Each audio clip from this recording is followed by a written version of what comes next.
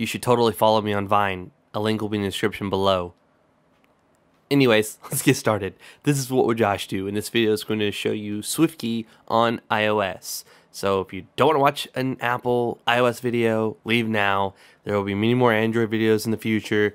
I'm just wanting to see how SwiftKey is on iOS compared to how SwiftKey is on Android. So let's begin.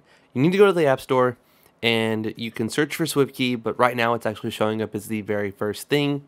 So we're going to go ahead and click free and then install.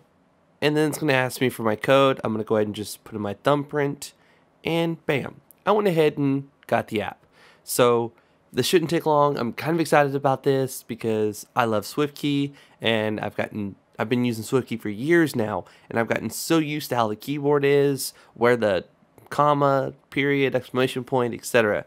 I've gotten so used to where all that stuff is. So the keyboard that you want, uh, how do I do the I've never done this before. Okay, cool. So SwiftKey Cloud. This is really, really, really important. If um I type in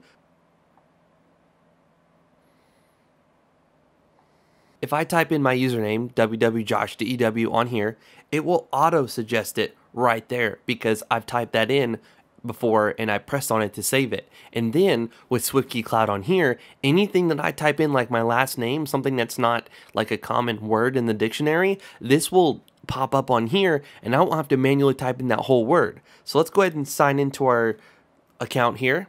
All right, I'm to go ahead and hit accept.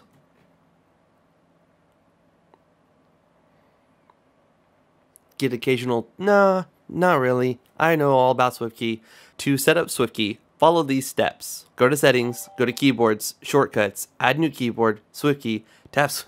okay, um, let's let's do this. General keyboards, keyboards, add new keyboard, SwiftKey, tap SwiftKey, allow full access. So go to settings. I haven't done this before. This is new. So general uh, keyboards. Where's keyboards at? Keyboard, and then keyboards, and then add new keyboard, and SwiftKey, and I don't know if we. Oh, allow full access. Allow.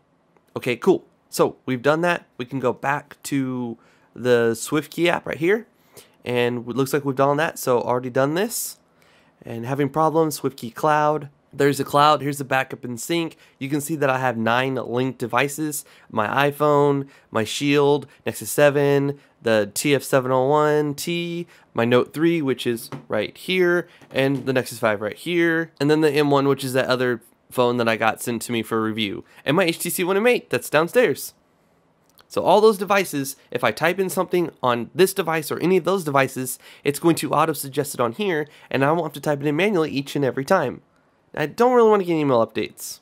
I know. So under keyboard settings, under themes, you can change the themes that you want. Like you can do a light one or you can do a dark one. I'm going to go and do a light one because honestly that's what I choose on most of my phones, except for some of them where I go with the like forest green theme that's going on here.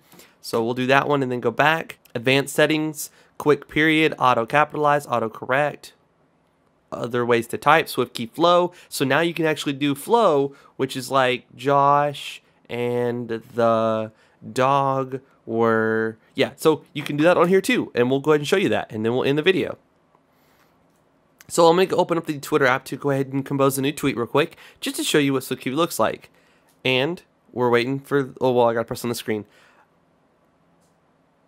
Okay. Uh, I don't know how to enable this. Oh crap! How do we get the keyboard to pop up?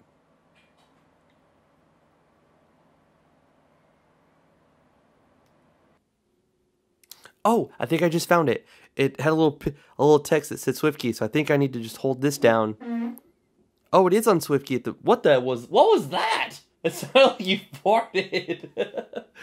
All right, so it does look like we're actually on SwiftKey at the moment. It just looks very different than what I'm used to. So now if I want to type something in, I can do Josh and the dog. We're going to get some food.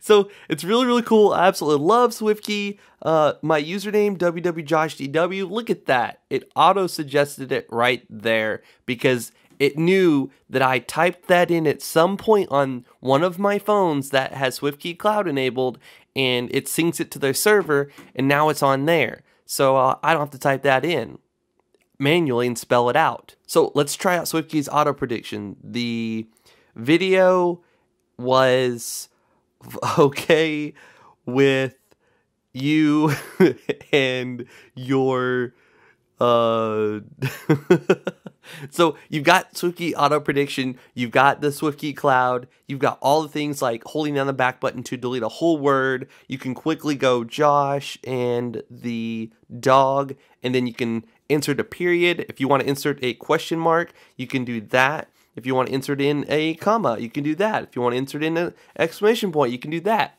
So while this is a little different from the Android version of it, a lot of the things the core functionality are still there, like being able to spell a last name because it knows, okay, you type Josh, and usually you follow that up with McAllister. So this is just really, really freaking cool.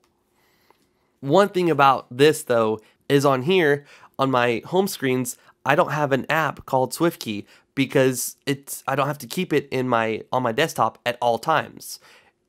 It's in my app drawer and I have to go all the way to my app drawer to get to it. But on here, it's stuck on your home screen. You can move it to a different screen, like over here, and not see it for a while, but it's always going to be on your desktop because you can't just simply remove it from your desktop and then get to all your things. So, actually, what I'm going to do is I'm going to take it over here to this extras folder that has stuff in it that I'm never going to use. So, there we go. Now it's not going to bother me every time I go to try to find an app and I'm seeing SwiftKey on there. But I can use SwiftKey like I always have. This is awesome. This is really awesome. If you enjoyed this video, please let me know by giving it a thumbs up. Please leave a comment letting me know what you think about SwiftKey third-party keyboards. If there's a different keyboard you prefer to use, trust me, I've tried a ton of them. I've tried AI Type, I've tried Swype, I've tried TouchPal, I've tried many, many, many keyboards, and SwiftKey is always the one I go back to. SwiftKey Cloud has been absolutely amazing, and you should definitely install this keyboard. Please follow me on Twitter and Instagram if you want to stay up to date with the latest videos that are coming out, know what videos coming out next, see behind the scenes, and also if I post a video from any of my other channels, YouTube will automatically tweet out a link to one Twitter account from all of those YouTube channels. So follow me on Twitter, please. Links to my social media accounts will be in the description below. You might have to click the text that says show more to expand the description to see all the links. If you're new to my channel, please hit that subscribe button. This is What Would Josh Do, and I'm out.